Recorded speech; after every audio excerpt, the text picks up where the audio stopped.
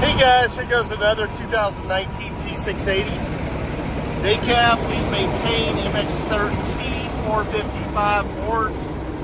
It's got your 12-speed Endurant automatic.